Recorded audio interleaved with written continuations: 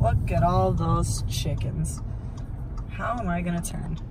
Thank you, bus. Is thing gonna stop? Is someone gonna T-bone me? Am I gonna, are you gonna get it all on camera? Yeah.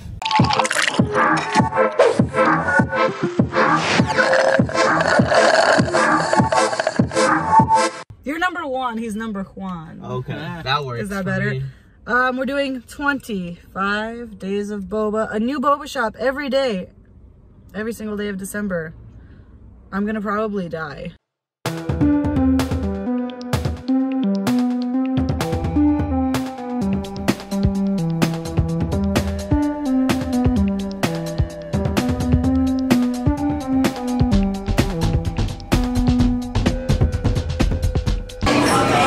Uh, apple soda.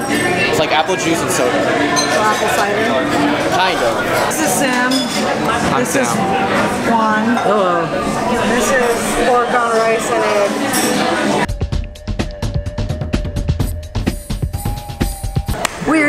25 days of boba. We are at Pine and Crane in Silver Lake.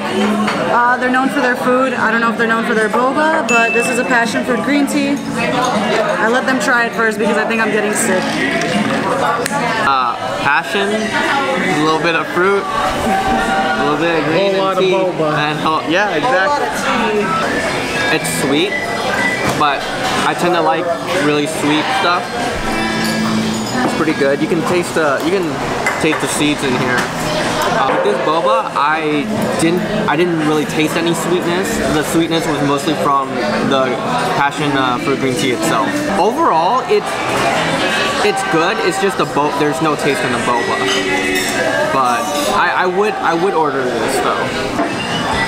I don't think I like it actually. It's a little, it's kind of bitter. Did you feel it kind of bitter? Because I like sweet stuff too. I don't know. I felt like it was. I, I thought the drink it's, itself is sweet, but I don't.